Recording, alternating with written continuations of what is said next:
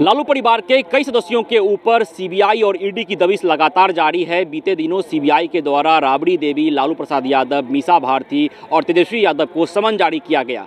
दिल्ली स्थित Rouse Avenue court में उन सब की पेशी होनी थी तो राबड़ी देवी पटना से दिल्ली पहुँची और वहाँ पहले से मौजूद लालू यादव और मीसा भारती भी कोर्ट पहुँचे। इन सभी को कोर्ट के द्वारा जमानत दे दिया गया। तो राबड़ी देवी बिहार विधानमंडल में चल रहे बजट सत्र में भाग लेने के लिए बिहार विधान परिषद पहुँची आज। जब उनसे सवाल किया गया इस मसले को लेकर तो राबड़ी देवी ने कहा कि कोई खबर नहीं है, कोई न्यूज़ नहीं है, यह पुराना मामला है। बीते रात पटना एयरपोर्ट पर जब पहुँची थी राबड़ी देवी तो उस वक्त भी पत्रकारों ने उनसे सवाल पूछा था कि क्या मामला था, क्या कुछ बातें हुई कोर्ट में, लालू प्रसाद यादव की सेहत क्या है? तो राबड़ी देवी ने कहा कि पहले ईडी ने परेशान किया, सीबीआई ने परेशान किया, अब आप लोग परेशान कर रहे हैं। दरअसल राबड़ी देवी जब जमानत मिलने के बाद पटना पहुँची तो उनसे यह सवाल किया गया था। ज़मीन लेकर नौकरी देने के मामले में लालू परिवार लगातार घिरता दिख रहा है। लगातार सीबीआई के द्वारा समन जारी किया जा रहा है। हालाँकि तेजस्वी यादव बिहार विधानसभा में चल रहे कार्रवाई का हवाला देकर सीबीआई के सामने पेश नहीं हो रहे हैं। कल तीसरी दफ़े सीबीआई ने उन पर समन जारी किया था, लेकिन तेजस्वी यादव पेश नहीं हो रहे हैं। लेकिन राबड़ी देवी अदालत गई थी। लालू प्रसाद यादव भी अदालत गए थे। और मिसा भारती भी गई थी।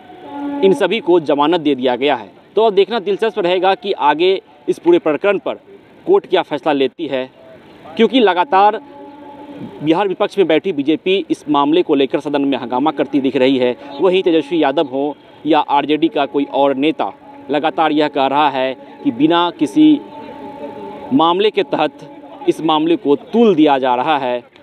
यह बातें 2017 में ही बंद हो गई थी। इस फ़ाइल को 2017 में ही बंद कर दिया गया था। तो फिर से इस फ़ाइल को खोलने का कहाँ तक औचित्य है? वहीं राबड़ी देवी कहती हैं कि बीजेपी बिहार में लालू यादव से डर गई है। बिहार में लालू प्रसाद यादव एक मज़बूत चेहरा हैं और आगामी लोकसभा चुनाव या बिहार विधानसभा चुनाव के मद्देनज़र लालू यादव से बीजेपी डर रही है, इसीलिए इस तरह का कार्रवाई लालू यादव के परिवार के ऊपर बीजेपी करवा रही है। सीबीआई और ईडी बीजेपी के तोते के रूप में काम कर रहे हैं। लगातार आरजेडी यह कह रही है, क्योंकि आरजेडी के कई नेताओं के ऊपर सीबीआई और ईडी की दबिश लगातार जारी है, छापेमारी की जा रही है। राबड़ी देवी पटना वापस आ चुकी हैं और बिहार विधानमंडल में चल रहे बजट सत्र में भाग लेने के लिए बिहार विधान परिषद पहुँची थी तो उन्होंने साफ़ किया कि कोई खबर नहीं है, कोई न्यूज़ नहीं है, पुराना मामला है। और इसके पहले राबड़ी देवी ने कहा कि मुझे परेशान किया जा रहा है। पहले सीबीआई ने परेशान किया, उसके बाद ईडी ने परेशान किया और अब आप लोग परेशान कर रहे हैं। तो जो एक नाराज़गी है, जो एक परेशानी है ईडी और सीबीआई की दबिश को लेकर, वो साफ़ तौर पर राबड़ी देवी के चेहरे पर देखी जा सकती है। जमानत मिल गई है, लेकिन जो एक परेशानी है सीबीआई ईडी की छापेमारी को लेकर, उनकी दबिश को लेकर, समन जारी करने को लेकर, वो साफ़ तौर पे राबड़ी परिवार, लालू परिवार के ऊपर देखी जा सकती है। तो अब देखना दिलचस्प रहेगा कि आगे कोर्ट क्या फैसला लेती है, आगे इस मामले में क्या कुछ बातें निकल कर सामने आता है। विश्वजीत आनंद, फ़र्स्ट बिहार, पटना।